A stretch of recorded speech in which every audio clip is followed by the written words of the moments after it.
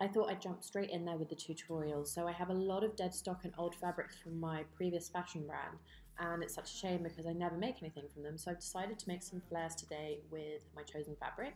So I've chosen my thread and now I'm just threading up my overlocker machine.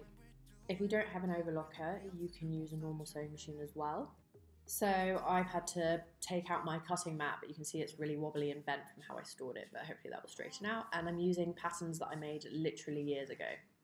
It's amazing how you can use patterns that are even this battered.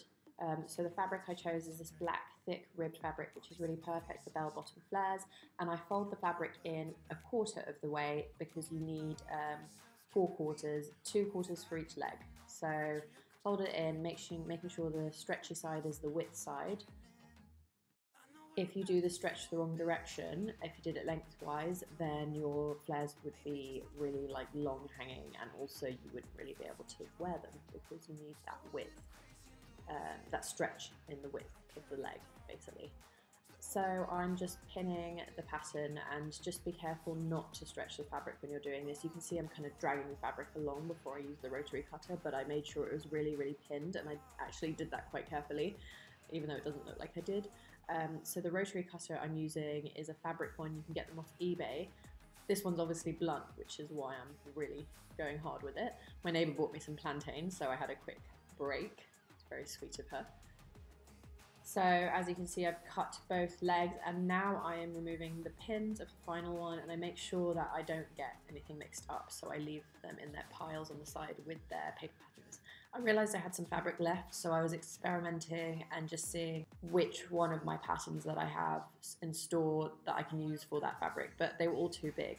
So I've decided to show you a different technique, which you can also use for the flares, by the way. So I got this little crop top of mine, and I'm using some very old pattern paper, but it will do the trick. And I'm just tracing this top. To be honest with you, this top is, top is pretty much a rectangle, but I thought I may as well just trace the top anyway.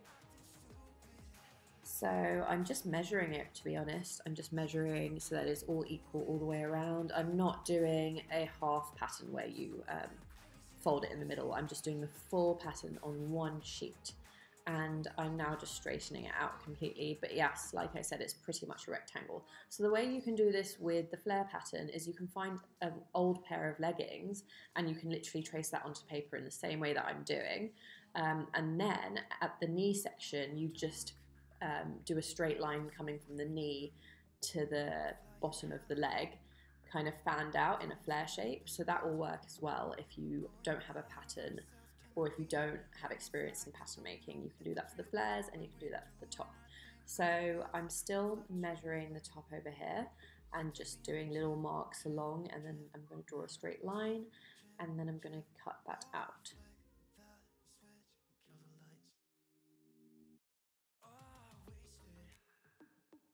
Oh, also after tracing the top, I added a seam allowance of one centimeter on either side because you need to take into account the stretch. But actually, I should have added two centimeters on either side because it the top was actually a bit small in the end.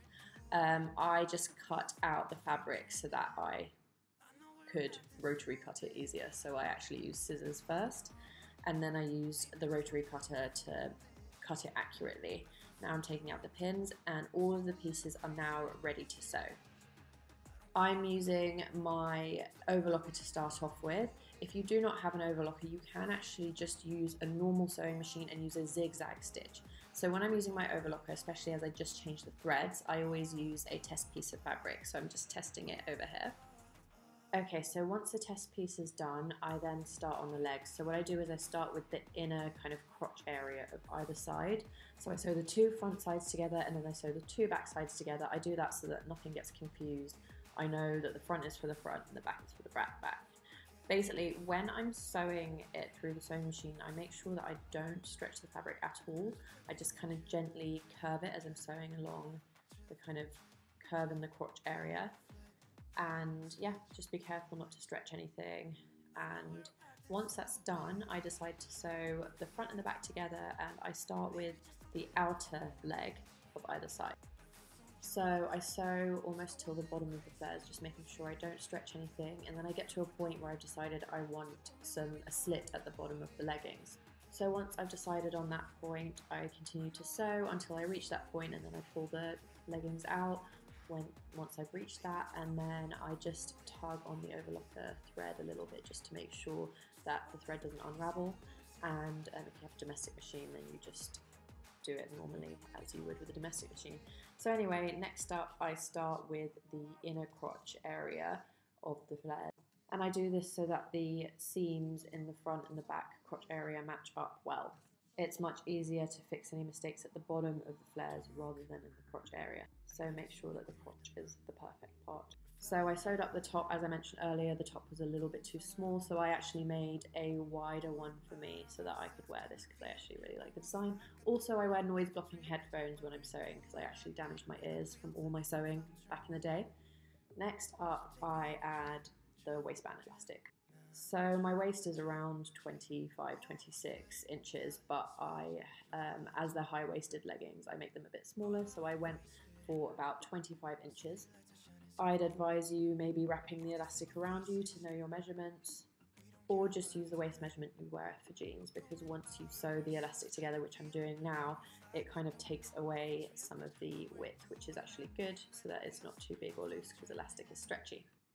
Now I'm going to try and explain this as good as I can, but I use the join of the elastic and I line that up with the back of the leggings so that all of kind of the messy stuff is towards the back. I then cut notches a quarter of the way along the waistband. So you literally just fold it into quarters and cut little notches. You can use a pen if you don't want to cut your elastic. So once I've measured the notches, that's when I know what notch goes with what seam on the top of the leggings. There are four notches on the elastic and there are four seams on the top of the leggings. One in the back middle, two, two on either side, well, one on either side, and then one on the front. So that's four seams. So each notch is matched up with each seam. So as you can see, I'm sewing and then when a notch kind of reaches one of the seams, I really just hop, as you can see, I am stretching it in place to match up with the seam. So it's fine if the elastic is stretched because then that creates an even kind of level of fabric and elastic ratio if you match up the notches to the seams.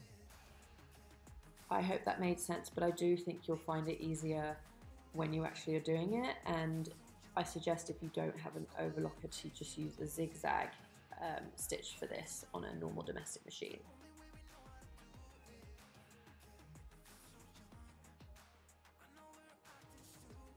So once I've done that and kind of gone all the way around and sewn the elastic to the top of the waistband, then I can go ahead and fold the um, elastic in, kind of conceal that in. So I'm folding that in.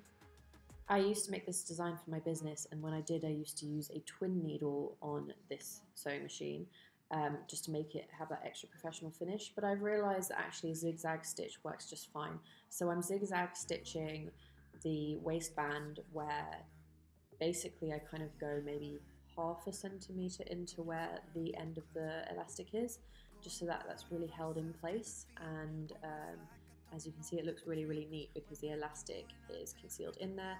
And for the top I was extra lazy and literally just folded in one centimeter in and just sewed that all the way along the top of the top with a zigzag stitch and I'm leaving a raw edge at the bottom so I'm just cutting off any of those little threads but yes it's a raw edge crop top with a raw edge kind of grungy style slash leg flares. So here I got my mini cutting board out because some of the just there's some excess fabric at the bottom of the leg, like some of the seams didn't match up perfectly. This is such an easy fix. You just use a ruler and a rotary cutter and you just roll it in that straight line with the rotary cutter and you're done and this is the final result.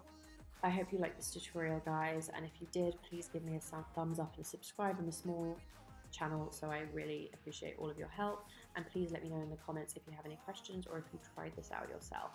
As usual, sending you love, light and good vibes and see you at my next video.